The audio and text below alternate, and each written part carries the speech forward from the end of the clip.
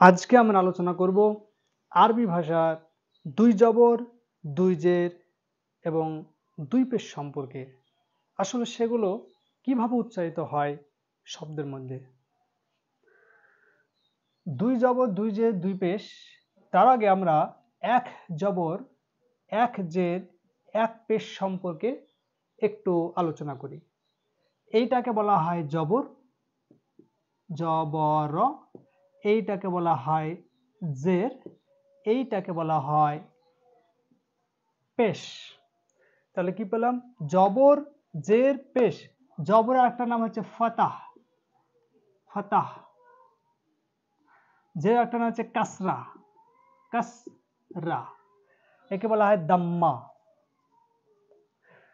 তাহলে জবরও বলতে পারি, ফাতাও বলতে পারি, জেরও বলতে পারি কাসরাও বলতে পারি, পেশকে আবার দাম্মা বলতে পারি। তাহলে এগুলো সবই কিন্তু একটা আছে, একটা জবর, একটা জের, একটা পেশ। এখন জবর থেকে কি আসে? জবর থেকে আসে বাংলায় আকার, জের থেকে আসে হুস্যিকার, দাম্মা থেকে আসে হুস্যুকার। উদাহরণ, যে কফ জবর কা আবার কব জবর কা। কব জবর কপ থেকে ক আসে, ওপরে দাগ আছে মানে একটা জাবার দিতে হবে বা আকার দিতে হবে। তাহলে ক কাব জাবার কা কাব জাবার কা কা কা। এইটাতে আমি নিচেরটাতে জের দিলাম। তাহলে প্রথম কাটা দিচ্ছি কাপ আছে, ক, দুটো কপ আছে কাপ আছে মানে দুটো ক নিলাম। প্রথম কাটায় যাবার মানে আকার, যাবার থেকে এসে আকার, তাই প্রথম কাটা আকার। কিন্তু লাস্টে কাটে তলায় দিয়েছি, তলায় মানে যে জের থেকে হস্যিকার আসবে, তাহলে এটাকে আমি হস্যিকার করে দিই, এটাকে হস্যিকার তাহলে কি বলব? কাফ যাবার কা, আর কাফ জের কি? যে এই দাগটা যদি আবার নিচে থাকে, তাহলে হস্যিকার কাজ করে। তাহলে কাফ যাবার কা, আর কাফ জের কি? কা কি?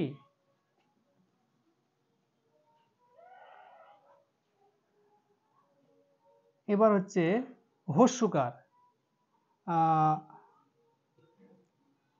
ধরো দিলাম, মিম জবর মা। আর একটা মিম লাগালাম। মিম জবর মিম থেকে বাংলায় ম আসে। ওপরে যাবার আছে মানে আকার দিলাম, মিম জবর মা। আর এইটার সঙ্গে আমি হস্যকার লাগালাম। এটাও কিন্তু মিম মানে ম পাবো। তার সঙ্গে হস্যকার থেকে এসে পেশ মানে হচ্ছে, এটা পেশ লাগিয়েছি। আরবিতে পেশ, বাংলায় কি আসবে হস্যকা তাহলে সঙ্গে হস্যকা দিলাম। তাহলে মিম জবর মা, মিম পেশ মু, মা মু।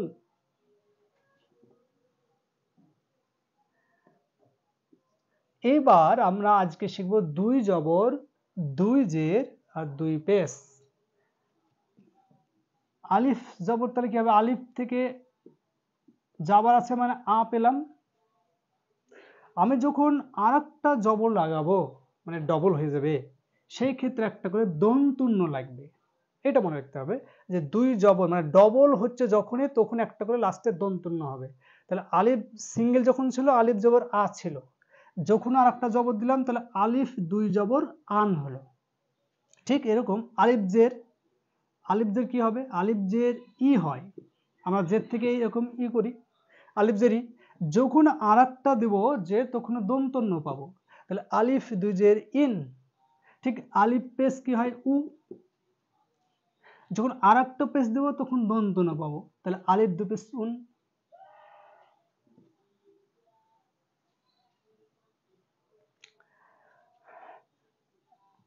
এইটা নুন। যখন একটা জবর দিলাম নুন থেকে বাংলা কি আসে? নুন বানানের দন্তুন্য দন্ত নয়হস্য দন্তুন্য আমরা জানি প্রথমকার বর্ণটা নিতে হয় তাহলে দন্তুন্যটা নিলাম। এবার একটা জবর জবর থেকে আসে আকার। তাহলে আকার নিলাম। এইবার আর একটা যদি জবর দিয়ে দিই, ডবল মানে দন্তুন্য পাবো। তাহলে নুন, দুই জবর, নান। এবার জেদ দিলাম। নুন থেকে দন্তন্য হয় আর জের মানে হস্যিকা তাহলে নুন, জের নি আর একটা জের দিলাম মানে দন্তন্য পাবো। তাহলে নুন, দুই জের নিন। নেক্সট আসি। এবার পেজ দিলাম। নুন নুন থেকে বাংলাতে দন্তন্য নিলাম। আর পেশ আছে যেহেতু, তার সঙ্গে হস্যকার দিছে কারণ পেস থেকে কি আসে? হস্যকার তাহলে নুন পেস নু। আর একটা পেস দিলাম। তাহলে দন্তন্য পাবো। নুন, দু পেস নুন। তাহলে আমরা কি বুঝতে পেলাম? যে দুই জবর দুই জের বা দুই পেশ যখন যুক্ত হবে, তার শেষে একটা নুন যুক্ত হবে। এক কথায়, বাংলাতে দন্তন্য যুক্ত হবে, নুন না দন্তন্য যুক্ত হবে, আর আরবিতে কি যুক্ত হবে? আরবিতে যুক্ত হয় একটা নুন থাকে, নুন সাকিন বলা হয়, এরকম চিহ্ন থাকবে। এইটাকে নুন সাকিন বলা হয়। দুই জবর, দুই জের আর দুই পেশের একটা নির্দিষ্ট নাম রয়েছে। এই দুই জবর দুই জের, এই দুই পেশ দুই জবর, দুই জের, দুই পেশকে আমরা বলি তন ভিন বলে থাকি। তাহলে তন ভিন জিনিসটা কি? তনভিন হচ্ছে দুই জবর, দুই জের, দুই পেশকে বলব তনভিন তনভিনের মধ্যে বাংলায় কি পড়া থাকে? তনভিনের লাস্টে বাংলায় থাকে দন্তন্য আর তনভিনের আরবিতে কি পুরা থাকে? আরবি বর্ণতে। তনভিনের মধ্যে আরবি বর্ণ থাকে দন্তন্য না বলে বলব, আরবিতে নুন সাকিন, এটা পুরো আছে, নুন সাকিন পুরো আছে। মানে বাংলায় যেটা দন্তন্য, আরবিতে সেটা নুন সাকিন আছে। তাহলে তনভিন মানেই জানতে হবে সেখানে একটা নুন সাকিন আছে আরবিতে, আর বাংলায় সবসময় দন্তন্যর মতো উচ্চারণ হবে। এখন আমরা দেখি কয়েকটা বর্ণকে উচ্চারণ করে। যেমন, এইটাকে অনেকে বেও বলে, আবার বাও বলে। যে কোনো একটা খুশি বলবে, বে যাবার বা করলাম। বা কেন করলাম? না যাবার আছে তাই। তাহলে বা জাবার, বা জবর বাও বলতে পারি বা বে জবর বা বলতে পারি, যা খুশি।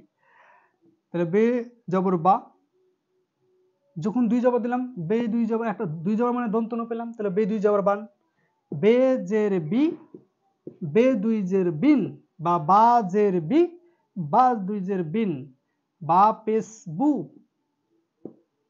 এইখানে লিখি, বা পেস বু বা দু বুন, বান বেন বুন। এইভাবে উচ্চারণ করব। তান তিন তুন, ছান ছিন, এরকম করে সবগুলোই উচ্চারণ হবে পরপর। কিন্তু কয়েকটা বর্ণে ব্যতিক্রম হয়েছে সেগুলো নিয়ে আলোচনা করি। যেমন, হামজা, আরেকটা রয়েছে ইয়া, আরেকটা রয়েছে, ওয়াও। এই তিনটে বর্ণে ব্যতিক্রম উচ্চারণ হয়। ওয়াউ জবার উচ্চারণ হয়, এটা ব্যতিক্রম এই কারণে ওয়াও থেকে কিন্তু ও আসা দরকার ছিল। এবার যাবার আছে মানে এরকম লেখা উচিত ছিল, কিন্তু হবে না, এটা ব্যতিক্রম। ওয়াও জবর ওয়া, যখন আর একটা জবর দিলাম মানে দন্তন্য পাবো, তাহলে ওয়াও দুই জবর ওয়ান ওয়াউজের আমরা পাই বি আর একটা যে দিলাম বিন ওয়াও দুই জের বিন ওয়াও পেশ হচ্ছে বু পাই আর একটা পেশ দিলাম। তাহলে দন্তন্য পেলাম। ওয়াও দু পেশ বুন ওয়ান বিন বুন। এইটা হচ্ছে ব্যতিক্রম। অন্যান্য বর্ণগুলো সুরে তালে চলে আসবে। আন, ইন, উন, বান, বিন, বুন, তান, তিন, তুন কিন্তু এটা এসে আলাদা হয়ে যাবে। ঠিক এটাও তাই। এইটাকে বলা হয় হামজা। হামজা থেকে হ আসা কথা।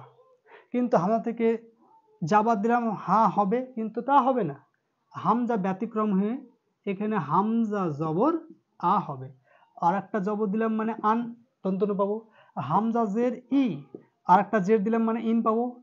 হামজা পেস উ আর একটা জের, পেস দিলাম মানে উন পাবো। তাহলে আন, ইন, উন। ইয়ার ক্ষেত্রে তাই। এটাও ব্যতিক্রম। ইয়া জাবার, ইয়া। আর একটা জবর দিলাম, দন্তন্য পেলাম। ইয়াও দু জবর, ইয়ান। ইয়াও জের ই আর একটা জের দিলাম, তাহলে দন্তন্য পাবো। ইয়াও দুই জের, ইন। ইয়াও পেস, উ। আর একটা পেস দিলাম। ইয়াও পেস, উ না, ইয়াও পেস হবে ইউ। আর একটা পেস দিলাম মানে দন্তন্য পাবো লাস্টে দন্তন্য তাহলে ইয়াও দু পেস, ইউন। এই তিনটে ব্যতিক্রম, ওয়ান বিন বুন, আন ইন উন, ইয়ান ইন ইউন। এই তিনটে ব্যতিক্রম, বাকি যে কোনো বর্ণের সেগুলো সুরে তালে চলে যাবে। মাঝ থেকে আমি একটা বর্ণের উদাহরণ দিই।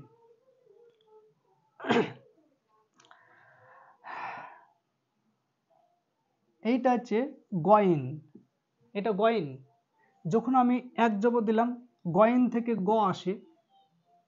কারণ গয়েন বানান করতে গয়েন। গয়েন থেকে কেন গ আসছে? কারণ গয়েনের প্রথমে আছে গ, তাই গ আসছে। তাহলে গয়েন থেকে গ আসলো। এক জবর দিলাম মানে একটা জাবার দিলাম মানে আকার পাবো। দুটো দিব যখন দন্তনু পাবো, তাহলে গয়েন দুই জবর গান, শুদ্ধ করে হচ্ছে হবে গন। গয়েনজের গয়ে হস্যি, গি। আওয়াজের দিলাম দন্তনু। গয়েন দুই জের গিন, গয়েন পেশ হচ্ছে গু। আবার দিলাম পেশ দন্তনু। গয়েন দু পেশ গুণ, গান, গিন, গুণ।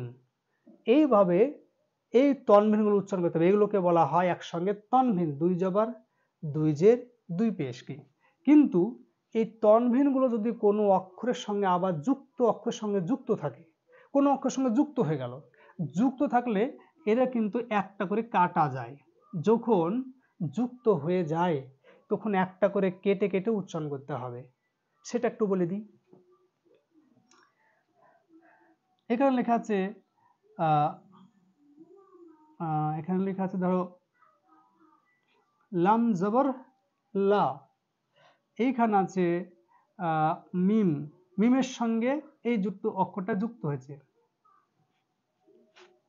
মিমের সঙ্গে এই অক্ষরটা যুক্ত করছি আমি। যুক্ত করে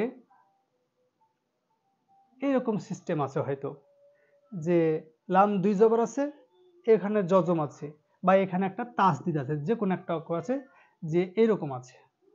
তো যখন এই অক্ষরটা যুক্ত হবে এটার সঙ্গে, এই বর্ণটা যুক্ত হচ্ছে এটার সঙ্গে। যুক্ত হলে মনে মনে একটা করে কেটে দিতে হবে।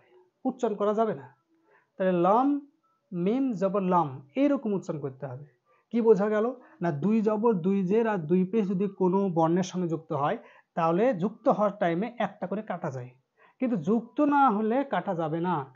যে দুটো থাকবে, দুটো করেই উচ্চারণ করতে হবে। আশা করি তোমরা সবাই দুই জবা দুই যে দুই পেশ সম্পর্কে মোটামুটি একটা ধারণা পেয়েছ।